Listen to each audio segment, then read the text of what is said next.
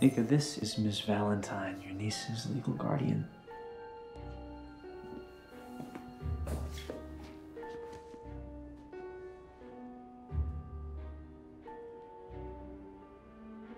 You're Alice's guardian? That's right. I'm sorry, but you seem really familiar. Did anyone ever tell you you look exactly like Jennifer Tilly? Yeah, I get that a lot. You're not quite what I expected either.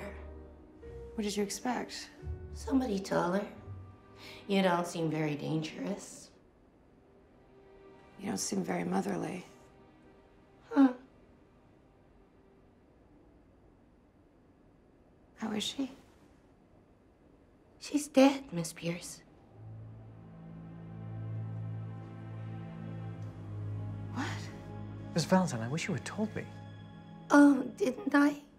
Uh, I'm terribly sorry. I've just been going through an awful ordeal.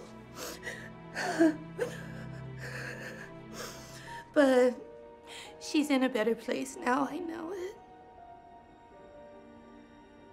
What happened? I'm no doctor, Miss Pierce, but I think it was a broken heart.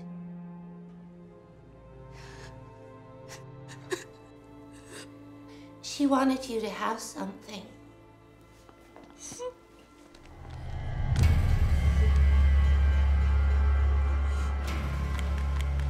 Hi, I'm Chucky.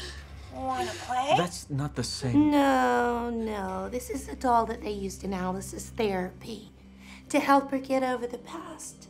She thought that maybe it would help you too. There you go. Oh, that's so sweet. Well,